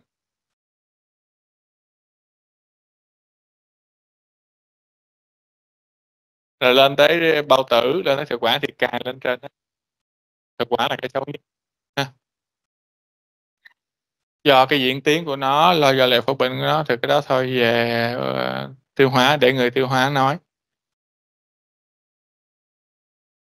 Về chẩn đoán thì cái hai cái, à, sinh cái giải phẫu bệnh và tế bào học, hai cái này tụi em phải phân biệt với nhau ha. Hai cái này khái niệm khác nhau. Hồi y một có học tế bào không Có đi thực tập tế bào không Có coi hiển hiển vi, đúng không Coi những cái à, hình thái tế bào, cái phân bào trong đó, đếm phân bào trong đó, còn nhớ không vậy? Thì đó là tế bào học á, tức là tụi em sẽ coi thử những từng cụm tế bào, từng tế bào, coi thử tế bào nó có bị gì dạng nhân là tỷ lệ nhân lên bào tương làm sao đó, để mình chẩn đoán nó ác tính. Còn giải phẫu bệnh là cái mới học ở y ba đúng không Hai cái lam nó hoàn toàn khác nhau, đúng không Thì là cái đó là cái tàu tế bào học, cái này là giải phẫu bệnh là lý do đó. Không phải cái nào tế bào học nó cũng chẩn đoán ra được hết nha. Hiện nay tế bào học mà sử dụng nhiều nhất hiện nay chỉ có là tuyến giáp thôi. Ngày trước thì là tuyến giáp, tuyến nước bọt và tuyến vú. Nhưng mà sau này thì chỉ có tuyến giáp là nhiều nhất thôi, tuyến nước bọt cũng còn xài. Nhưng mà bắt đầu có một số nơi thì người ta đề nghị có biopsy, chẳng hạn như ASCO thì một số nơi nào cũng có đề hợp làm có biopsy, tức là sinh thiết bằng nó cũng là kim hết nhưng mà nó là cái kim bự thì nó lấy ra một cái lõi mô nó thành giải phẫu bệnh nó thành giải phẫu bệnh. thì nếu mà nó hút tế bào ra thì nó thành tế bào học. Cái kim nhỏ hơn thì nó không hút ra được một cái lõi mô thì nó là tế bào học, đơn giản vậy thôi. Còn vú sau này người ta cũng làm bà co biopsy luôn. Tại vì làm co biopsy thì chúng ta mới biết được cái bản chất sinh học của cái bú đó. Chẳng hạn như nó có những cái thụ thể gì, như tôi nói đó, nó cũng có cái thụ thể gì và cái thụ thể nó sẽ đáp ứng với cái loại thuốc nào. Những cái loại thuốc mà sinh học như tôi nói đó. Cho nên là sau này người ta vú thì thường người ta có xu hướng làm co biopsy nhiều hơn là ghép bên này, để người ta tiến hành điều trị. sẽ có một số loại ung thư, cho dù cái bú cái thước rất là nhỏ, nhưng mà người ta cũng sẽ hóa chất, người ta sẽ điều trị hóa trị trước khi người ta phẫu thuật. Chứ không phải như ngày trước là cái nhà gọi là mổ xong tính gì tính.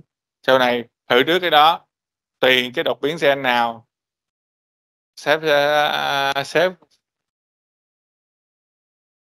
xếp cái luminal nè. Rồi hơi tiếp tục đi. Hôm nay trong khoa, trong phòng mổ thì có một trong, à, tôi phải mổ một ca rất là lớn ha, mà bác sĩ Son báo cái giờ dậy này phải chạy chạy bây giờ bệnh viện có một cái bãi chiến trường đó. Ca mổ hôm nay dự kiến là khoảng 12 tiếng.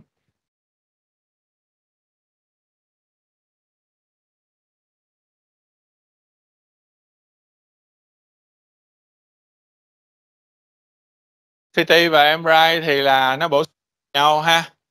MRI thì chúng ta biết là nó có có cái ưu điểm nó đánh giá mô mềm rất là tốt. Và ngay cả xương bây giờ có một vị trí một số xương nó cũng đánh giá tốt hơn cả CT nữa. Chứ không phải là cái như hồi xưa nó, à CT đánh giá xương còn MRI đánh giá mô mềm, không phải. Bây giờ ngoại thật ra đối với vùng đầu cổ thì ngoại trừ cái vùng thanh thanh quản ra, tại vì vùng thanh quản nó có quá nó có quá nhiều cái mô sụn ra thôi, thì hầu hết những cái vùng còn lại là MRI nó là liều liều tốt hơn hết. Thì tuy nhiên thì cái CT này cái khi mà tay hành bác sĩ rồi thì chúng tụi em sẽ thấy là cái CT này thì bác sĩ mình dễ đọc hơn. em ra thì thường là phải bác sĩ chuyên về hình ảnh học họ mới đọc tốt được, còn em ra thật ra rất là khó đọc, ngay tại bản thân tôi bây giờ đọc nhiều cái tôi đọc cũng không ra nổi nữa. Cho nên, ờ, CT giống như một cái giống như đối với nước ngoài thì CT giống như một cái X-quang thông thường này đó, và CT nó cho hình ảnh rất là nhiều, cho nên cái CT là cái bước đầu tiên.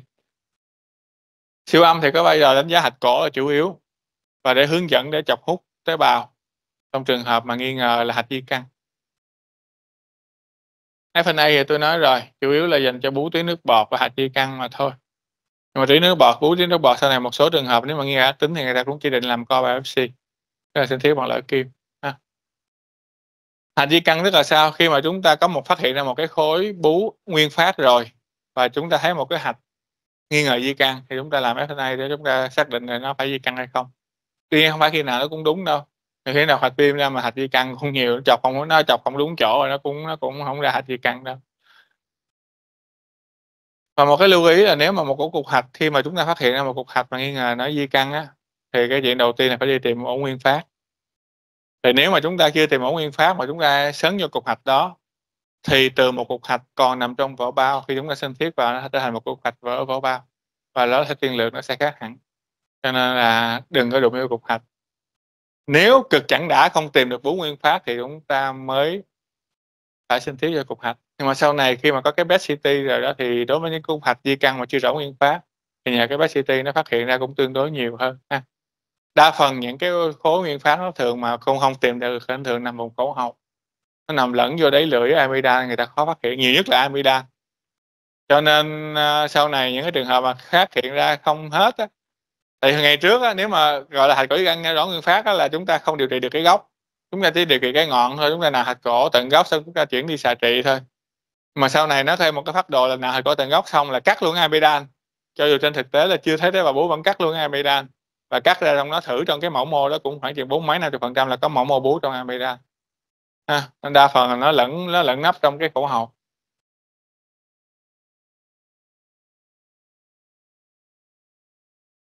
Một cái city giờ phân biệt cái phim city với phim em ra phân biệt bằng nào?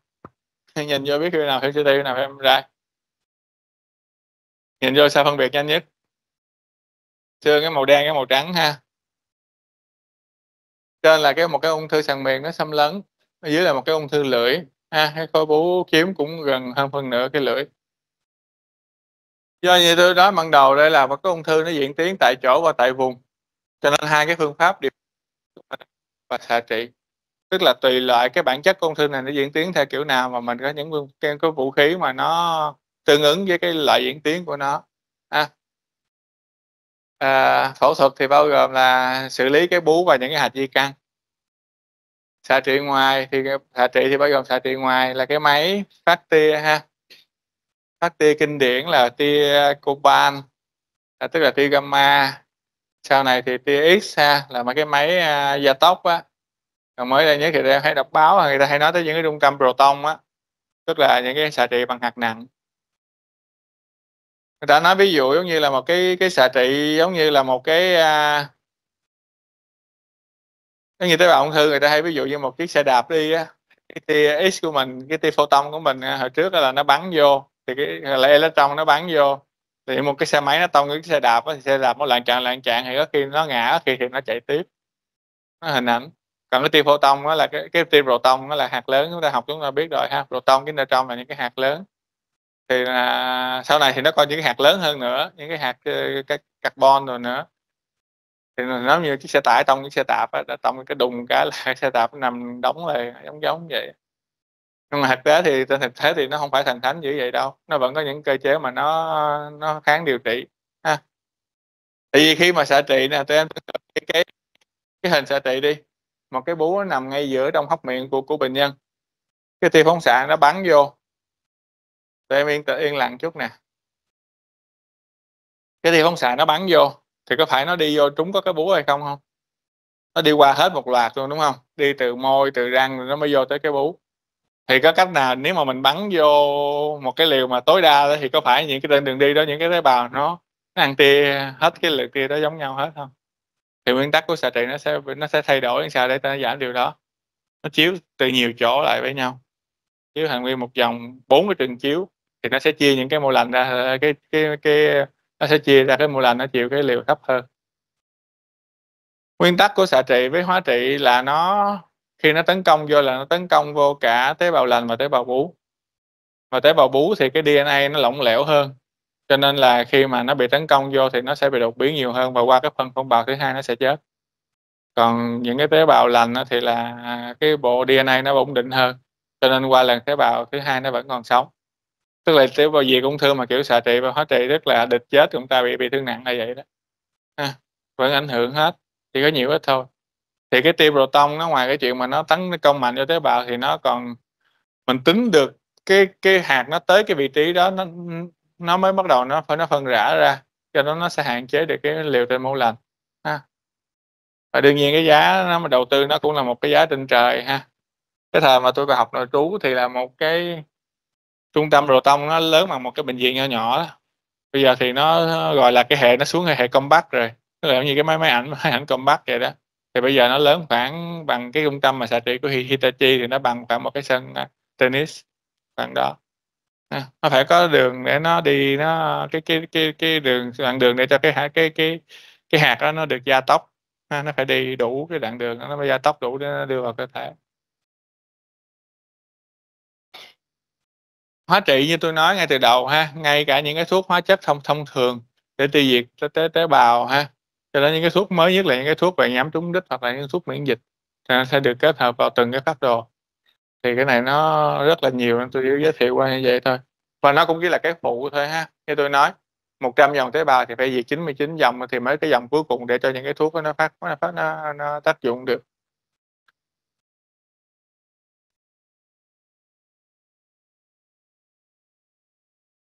Đây là những cái đặc điểm của điều trị của tại vì đối với ung thư đầu cổ hơn 70% các trường hợp là vẫn là phẫu thuật là phương pháp điều trị chính ha.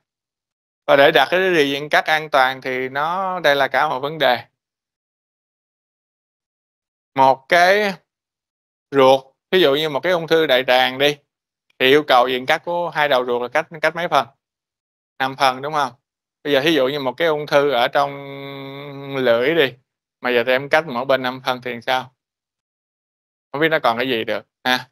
Tức là nó khó là nó khó ở chỗ đó. Khi chúng ta cắt quá rộng thì cái sự tàn phá là nó khủng khiếp. Ha. À, cái này thì, à, chúng ta biết rồi, đối với ung thư vùng đầu cổ thì là nó đầu cổ nó sẽ có những cấu trúc mà gọi là rất đặc hiệu. Đặc hiệu tức là sao? Là không thay thế được. Ví dụ đơn giản nhất là dễ dễ hiểu ha, con mắt. Có cái nào thay thế được không? Hiện tại thì chưa ha.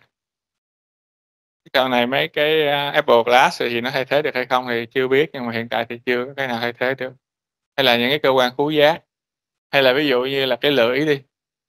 Một cái lưỡi giả, tinh vi tới cỡ nào đi nữa, có thay thế được cái vị giác không Không thể. Ha, đó là tại sao tôi nói một cơ quan rất đặc hiệu là vì lý do đó, và khi mà nó tàn phá những cơ quan này thì không phải về mặt không phải về về mặt, uh, thẩm mỹ không mà chức năng à, không cũng ảnh hưởng rất là nhiều. Thì em tưởng tượng như một bệnh nhân mà bệnh nhân cắt hết cái lưỡi thì là cái chuyện đầu tiên bệnh nhân xuất hiện là cái gì? Sặc. Sặc nước miếng, đúng không Nước miếng mình không nuốt được. nên bây giờ cũng khó thì kia tụi em tưởng tượng không có cái lưỡi sao tưởng tượng được. Nhưng mà, gọi là, nước miếng nó sẽ ra mà nó không có chỗ mà nó sẽ sặc, mà sặc cho phổi thì hiện tượng sẽ xảy ra, viêm phổi hết viêm phổi hết thì tụi em biết rồi, à bệnh nhân, a, hôm đầu mà bị dấu hiệu triệu chứng là hôm sau bệnh nhân có thể tử vong. Đó là về vấn đề diện cắt. Cái thứ hai là nhiều cấu trúc phức tạp, câu này thì nói ra có vẻ hơi khó hiểu đi, nhưng mà nói nói là, là giải phẫu vùng này là khó nhất, cái này dễ hiểu hơn không? Hồi trước đi học cái cái môn nào mà rất nhiều nhất? Ung thư đ vùng đầu cổ. Cái cấu trúc giải phẫu nó rất là phức tạp và nó đang xen những cái cấu trúc vừa chức năng vừa thẩm mỹ nó rất là nhiều lên với nhau. Cho nên đây là một cái đặc trưng thứ hai của phần đầu cổ, tức là cái giải phẫu nó rất là phức tạp. Và do những cái đặc điểm đó cho nên là cái phẫu thuật tái tạo và phục hồi chức năng là một cái bước rất quan trọng, gần như là không thể nào không không có được. Tạo hình, thí dụ tạo hình cái vùng ngực, vùng vú thì nó nó nói chung là nó về thẩm mỹ nhiều hơn. Nhưng mà nếu mà không có nó thì thì cũng không chết, đúng không nhưng mà cái lưỡi nếu không có, bệnh nhân chết ngay hông 2-3 ngày sau bệnh nhân có thể chết. Tức là cái chuyện mà tạo hình tái tạo ở đây nó là là bắt buộc chứ nó không phải là một cái option để chúng ta có thể chọn lựa. Nếu chúng ta đã quyết định cắt rồi, chúng ta phải tái tạo được, còn không tái tạo được thì đừng có cắt. Nguyên tắc vậy thôi. Và tái tạo vùng đầu cổ là vùng phẫu thuật tái tạo là phẫu thuật tái tạo khó nhất trong những cái vùng trong cơ thể. Nếu mà chúng ta phân biệt những là phẫu thuật aesthetic, plastic, reconstructive nó đi theo cái bậc thang. Aesthetic là cái dễ nhất, plastic là cái khó thứ hai và cái reconstructive surgery là cái khó nhất, là cái phẫu thuật tái tạo là trong thường là cái phẫu thuật tái tạo khó nhất trong những cái phẫu thuật ha. Còn aesthetic cái là chỉ là cái để thu tiền thôi. Ừ. Tức là thẩm mỹ á, là cái dễ nhất. Mà thường sau này thì, ha, sinh viên trường mình ra học thẩm mỹ rất là đông, chắc cái đó kiếm tiền nhanh, ha, đó. Ví dụ một số trường hợp một cái ung thư môi, chúng ta cắt xong rồi chúng ta chuyển một cái phần môi trên xuống để chúng ta tạo hình cái khóe môi cho bệnh nhân. Đây là các bạn Alexander kinh điển cho một số trường hợp ung thư. Một số trường hợp lớn hơn là một cái ung thư của sàn miệng, chúng ta phải cắt một phần lưỡi, sàn miệng và cả phần núi răng nó bị xâm lấn vào luôn. Một cái phẫu thuật khá là lớn. Và chẳng hạn như trường hợp này chúng ta mất đoạn một cái phần núi răng á, thì hầu như cái sức nhai của bệnh nhân là bằng không. Thẩm mỹ thì khỏi nói rồi, à, rất là xấu. Cho nên những trường hợp này là phải tái tạo hết, ha. Thì hôm nay tôi mổ một cái ca giống như vậy nè, bự hơn, là cắt một đoạn lớn của xương hàm và cắt một phần phân nửa ở lưỡi, ủ lại rất là rộng, ha. Ví dụ trường hợp này một cái ung thư lưỡi ha, chúng ta cắt nửa lưỡi xong rồi chúng ta nào hạch cổ. Thì nạo hạch cổ đối với ung thư, à, trong ung thư lưỡi thì nó sẽ xin lỗi, trong ung thư hốc miệng thì nó sẽ có hai vai trò. Nếu có hạch rồi thì chúng ta nạo hạch để điều trị, tức là phải nạo hạch cổ tận gốc. Còn nếu mà chưa có hạch di căn, à, trên lâm sàng hoặc là đánh giá trước mỗi chưa có hạch thì đúng là hạch dự phòng. Dự phòng tức là sao? Đối với những cái trường hợp nào mà nguy cơ di căn hạch âm thầm của nó là trên 20% thì cũng phải là hạch dự phòng. Tức là những cái hình ảnh học trước mổ hoàn toàn không hạch di căn, nhưng mà sau đó thử mô hạch ra thì khoảng 20% nó có hạch di căn, thì chúng ta phải nào dự phòng. Thì ung thư lưỡi là một trong số đó. Trường hợp mà tương đối nhẹ ha, chỉ cắt có nửa lưỡi thôi. Ở đây hình ảnh cái lưỡi được tái tái tạo bằng cái, uh, da cẳng tay. Bệnh nhân này tôi mổ cách đây 15 năm. Bệnh nhân vẫn còn sống, ha. Cái lưỡi tái tạo bằng, nhà bằng bằng bằng bằng da tay. Cái thực tế tạo bằng vi phẫu ha, nối mạch máu, nối mạch máu, uh, của phía trên, à, đầu cổ với cái, uh, mạch máu, tụi em thấy cái cái da lấy ra không? Nó có cái cuốn mạch máu nó gặp cái da, phải cắt rễ cuốn lên mà nối lại, nối mạch máu và thần kinh cho bệnh nhân. Đây là một cái trường hợp ung thư lưỡi nhỏ hơn, ca này như nữ cũng khá trẻ, tôi nhớ hình như hai mới hai mấy. Và tạo hình bằng vạt dưới cầm tức là lấy một cái phần da vùng dưới cầm. Đương nhiên là vẫn phải lấy vẫn phải còn giữ mạch máu nuôi của nó nghe chứ không phải cắt rời miếng da lên dán lên thì quá dễ rồi, vẫn giữ mạch máu nuôi của nó và luồn ngược ở trong miệng, luồn ngược ra và để tạo hình cái lưỡi cho bệnh nhân. Cái mạch máu ơ là cái nhánh là nhánh dưới cầm của trong mạch mặt. Tuy nhiên là phải cả đồng cả đồng cả tỉnh phải giữ được hết thì nó miếng da nó mới sống ha. Cái này thì đơn giản hơn, tại vì không phải nối mạch máu, mình chỉ giữ mạch máu để mình luồn lên thôi chứ mình không cần nối. Một cái ung thư khẩu cái được tạo hình bằng Mút nằm ở, đây nè, hai bên đây nè, chúng ta lấy một phần cờ mút chúng ta vá giá vào cái cái khẩu cái. Cái này là vạt dưới móng. Một cái à, vạt da nằm phía dưới cổ nè, được nuôi bởi một cái nhánh của động mạch giáp trên, tạo hình cái sàn miệng cho bệnh nhân. Sàn miệng bệnh nhân cắt hết rồi đó, cái vùng da là cái vùng da dưới cổ để chuyển lên để tạo hình cho bệnh nhân. Đây là những ca tương đối nhỏ ha. Lớn hơn, một cái ung thư niêm mạc má và nó ăn từ trong niêm mạc má và nó ăn ra thủng ra tới cái da ngoài má. Và bệnh nhân được tạo hình lại bằng vạt cơ ngực lớn. Giống phim kinh dị ha.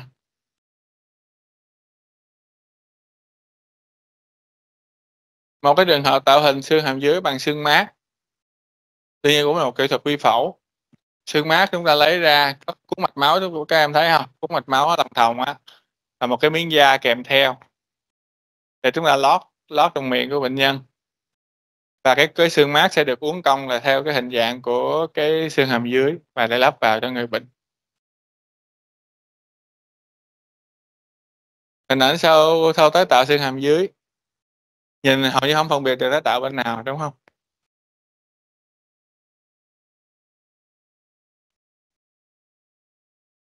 Những trường hợp khác, phẫu thuật khác, chẳng hạn như đây một trường hợp ung thư thanh quản, nếu nó còn khu trú thì chúng ta sẽ cắt thanh quản bán phần.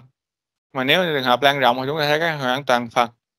Tuy nhiên cắt thanh quản toàn phần xong rồi thì sẽ bị đánh đổi là một cái, uh, bệnh nhân mất mất cái giọng nói tự nhiên. Sau đó phải tập cái giọng thực quản ha. Cái giọng thực quản không? Coi Thiên Long bắt Bộ chưa? Đoàn đoàn Viên Khánh đó biết không? ông có giọng thực quản đó, bị đánh thân là bị cắt thực quản mất tiêu rồi cho nên nó giọng thực quản đó. Tức là phải tập nén hơi từ từ ruột để đẩy lên để tạo thành cái giọng nói ha. Tuy nhiên tập cái đó nó không có dễ. Nó tập bên đó giọng bùng á, nhưng mà có những người tập rồi thì, à, như kỳ đó cái ông mà chủ tịch chủ tịch cái hội mà bị cắt cái thanh quản này bên Nhật cũng qua đây ông biểu diễn không, không hát karaoke mà giọng đó được. Mà sau này thì đơn giản hơn, sau này thì nó có cái máy ha. Máy đặt vô và chúng ta tập luôn chúng ta tạo cái máy nó phát âm mình nó dễ hơn là chúng ta tập bằng cái giọng tự nhiên. Nói giọng mè giống như con, ờ, giống như mấy con robot trong, ờ, Star Wars vậy đó ha, nhưng mà mình nghe nghe mình vẫn hiểu được. Thì, ờ, phẫu thuật thì nó mất cái thanh quản, cho nên mà sau một số trường hợp thì người ta sẽ khuyến cáo là có thể hóa xạ đồng thời trước để đánh giá cái, nếu mà đáp ứng được thì bệnh nhân sẽ bảo tồn được cái thanh quản. Chứ còn nhiều khi mà nó cắt bệnh nhân mất giọng thì một số bệnh nhân nó không có chấp nhận ha. Tôi nhớ khi mà tôi còn nhỏ, ông bác sĩ nội trú, tôi giải thích cho một bệnh nhân về phẫu thuật cắt thanh quản toàn phần thì cái ông đó ông nhất quyết ông không chịu cắt. Nói: "Chết cũng được tôi không bị cắt." Nói: "Sao không chịu cắt?" Cái nói: "Ở nhà vợ tôi bà hay chửi tôi lắm, mà bây giờ tôi cắt rồi tôi không chửi lộn lại được cái bà tôi chịu không nổi, chết cũng được." Là bệnh nhân nó bỏ thiệt, bỏ điều trị luôn, không sao, họ không thấy lên nữa. Phẫu thuật tuyến mang tai. Một cái tuyến nước bọt thì phẫu cái tuyến mang tai phẫu thuật khó nhất của nó đây là có cái thần kinh số 7 nằm ngay giữa tuyến mang tai. Cho nên khi mổ chúng ta phải tách ra để bảo tồn đủ cái thần kinh số 7 này. Thì đối với bác sĩ ung thư của tụi tôi thì bảo tồn thần kinh số 7 này thì rất là quen, không có vấn đề gì ha. Nhưng mà một số nơi thì họ vẫn không quen thì họ không dám mổ kiểu này, tại vì thần kinh số 7 đôi khi không phải dễ thấy. thì nó không phải như trên hình của, ờ, uh, Nectar dễ là tụi em thấy đâu ha, thực tế nó khó hơn nhiều. Ha.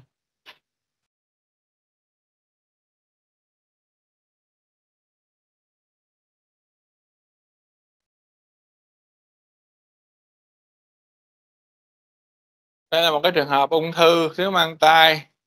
Bà này bà cũng để rất là lâu ha. Bệnh nhân thì ở rất là gần, bệnh nhân ở bên quận tư nè.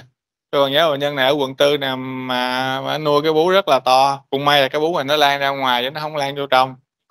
Lan ra ngoài nó xâm lấn vô da thôi.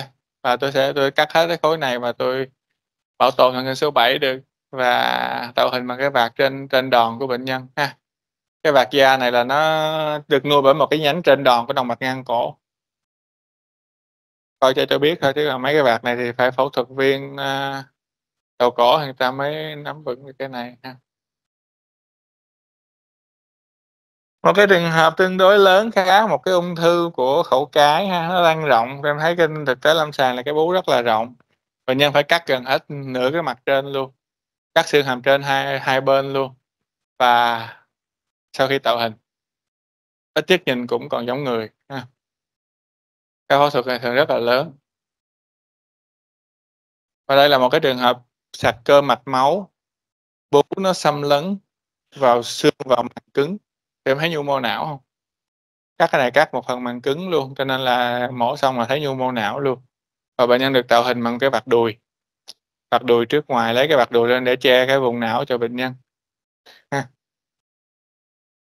Cái phẫu thuật rất là lớn mà hầu như chỉ có ông Bú mới thực hiện thôi, hầu như trên Hà Sài Gòn này không có kiếm được chỗ thứ hai đâu Một cái xương hàm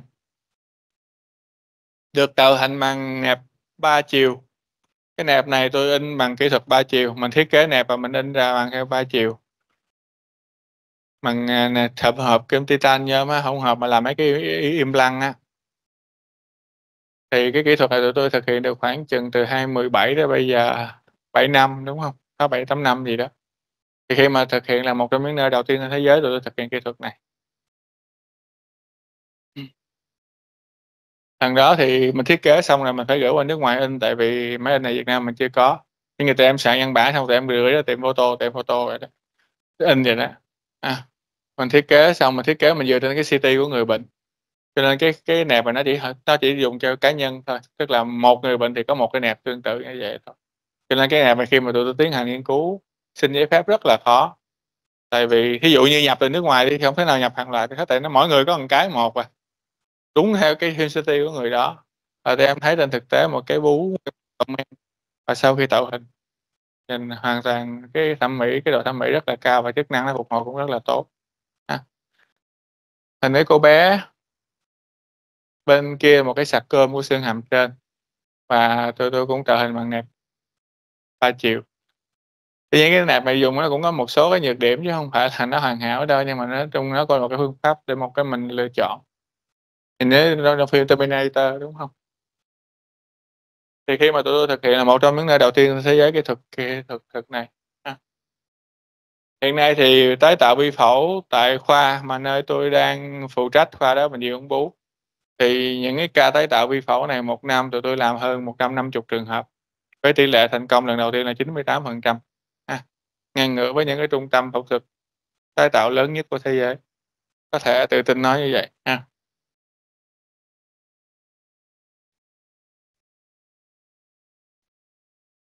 Tức là mấy cái trường hợp mà mổ bên Singapore xong về tụi tôi mổ lại nó giống giống vậy á. Ờ. Tức là những cái kỹ thuật mà phức tạp nhất, hiện nay họ làm được cái gì thì tụi tôi làm được tất cả y chang như vậy, hoặc là những cái mình đi trước họ, chẳng hạn như về cái tái tạo ba ba chiều, ha. Lần trước là nhờ những cái anh, a, hợp tác với những anh kỹ sư bên Úc. Cái công ty mà, cái bàn sáng chế của cái công ty đó mà nổi tiếng nhất là sáng chế là cái wifi. Một cái công nghệ đưa từ từ từ không gian xuống để áp dụng ra thực tế là cái wifi là cái độc quyền của công ty đó phát, sáng chế ra đó.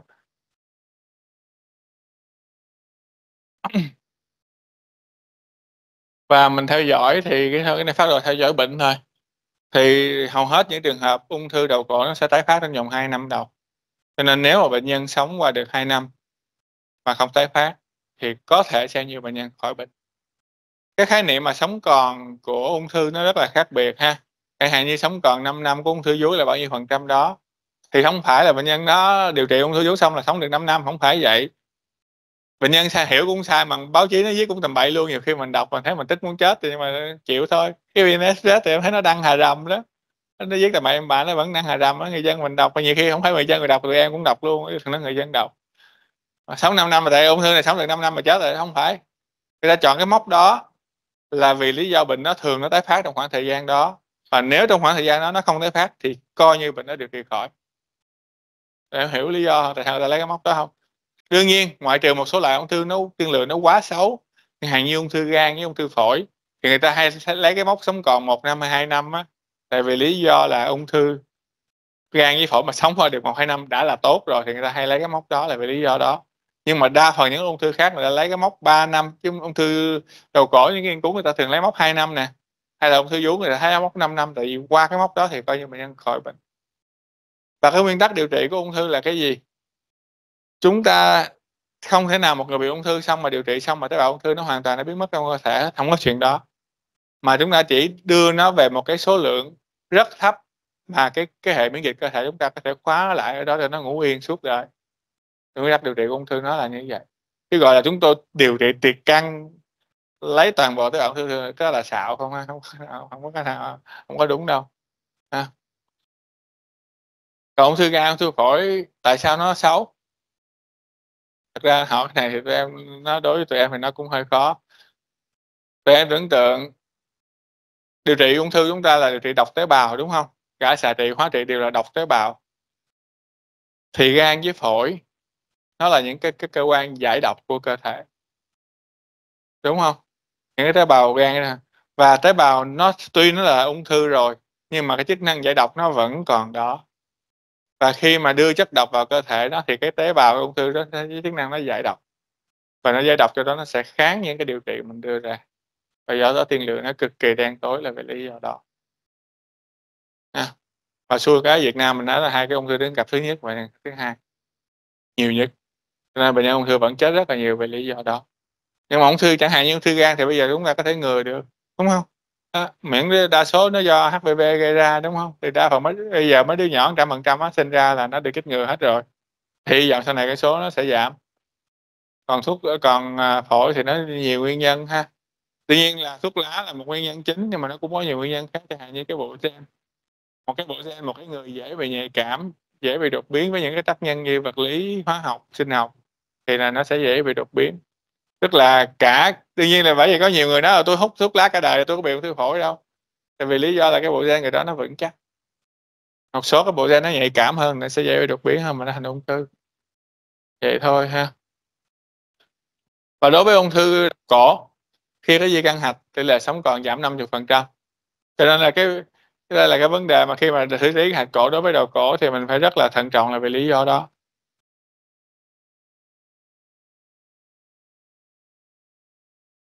Tóm lại, này là tất cả những cái tôi đều nói rồi ha. Bệnh lý cũng thường gặp. Rượu, thuốc lá HPV carcinom tế bào gai, diễn tiến và cái điều trị tương ứng.